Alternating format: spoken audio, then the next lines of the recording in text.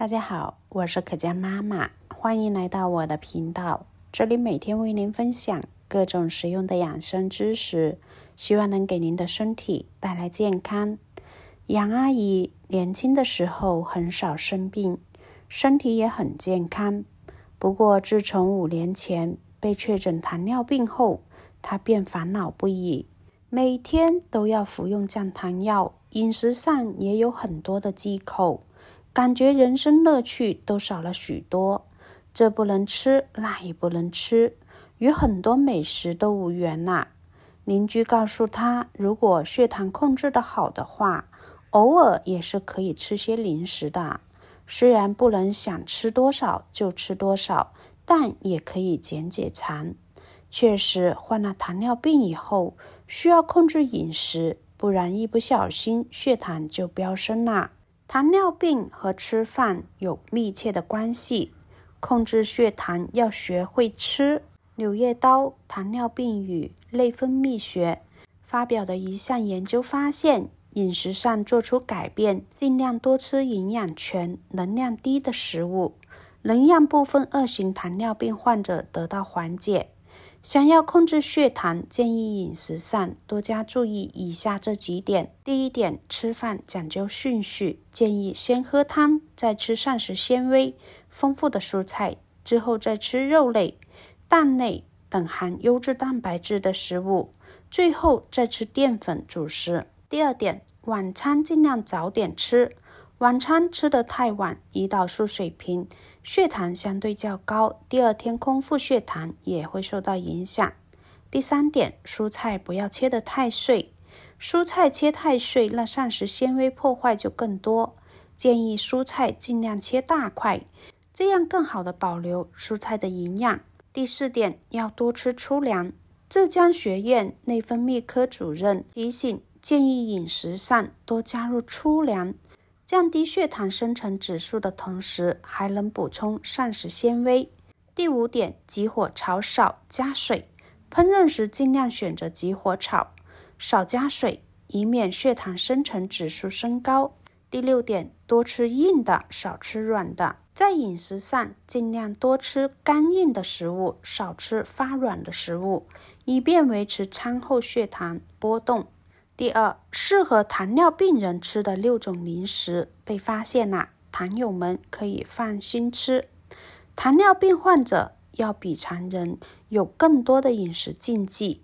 不过，囊肿分泌内科陈燕婷提醒，下面这几种零食，糖尿病患者可以放心去食用。第一种，苏打饼干。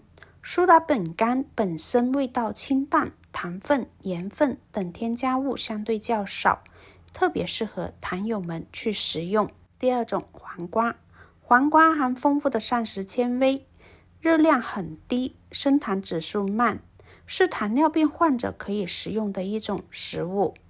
第三，水煮鸡蛋，鸡蛋不但价格便宜，营养价值特别高，饱腹感也很强，建议糖尿病患者。可以把它当做早餐来食用水煮蛋。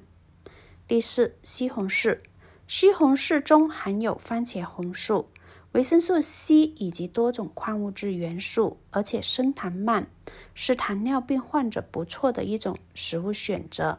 第五种，苹果，苹果中含有活性物质、膳食纤维、矿物质等多种营养物质，适当的去食用，有助于预防便秘。维持血糖稳定等。第六种，牛奶或酸奶。牛奶或酸奶中的钙含量很丰富，适量的食用有助于稳定血糖，增强饱腹感。建议最好选择纯牛奶或原味的酸奶，那是最好的。对于主食，糖尿病人们又是爱又是恨的。主食是我们身体的能量主要的一种来源，但同时它们又是让血糖上升的元凶之一。糖尿病人也是需要吃主食的，但又害怕血糖上升，处于两难境地。其实，糖友们只要选择对了，适合自己的主食，不但不会让血糖上升，还能起到稳定血糖的作用。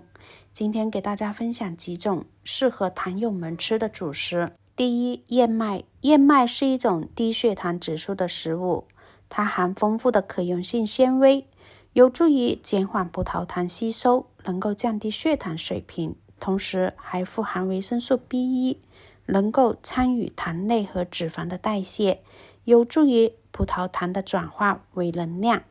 第二就是糙米，糙米相比白米含量更多的纤维素，这些粗纤维有助于稳定血糖。粗糙的糙米营养价值很高，比白米还要高，是糖尿病患者的理想主食。第三就是全麦面包啦，全麦面包中的粗纤维含量很丰富的，能够减缓和释放糖分，有助于控制血糖的波动。与精致白面面包相比，全麦面包更适合糖友们去食用的。第四，荞麦。荞麦中的膳食纤维有显著的降血糖作用，是糖尿病患者理想的主食。此外，荞麦还含丰富的氨基酸和微量元素，对于维持血管健康也很有益。第五，小米。小米属于粗粮，营养价值很丰富，具有一定的养胃、促进消化。小米中含有糖量是很低的。也特别适合糖友们去食用，但是建议用来煮饭吃。第六就是玉米了，玉米中的膳食纤维可以减慢糖分的吸收，有助于稳定血糖。同时，玉米还富含维生素、矿物质等营养物质，是糖友们的优质主食选择。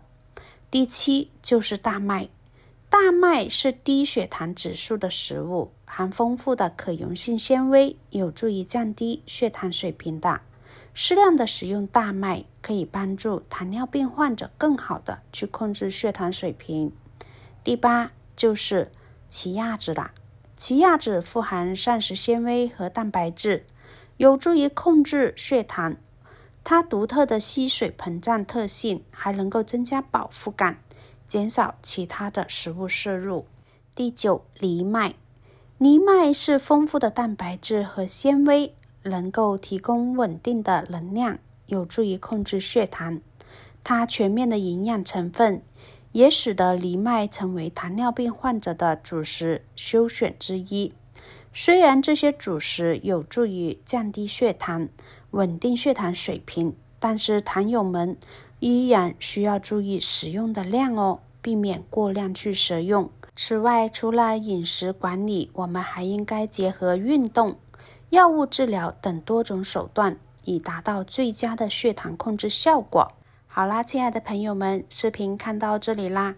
如果觉得我的视频对您有帮助，请动动您发财的手，在下方给我点一个免费的小爱心哦。感谢您的支持与观看，我们下期再见。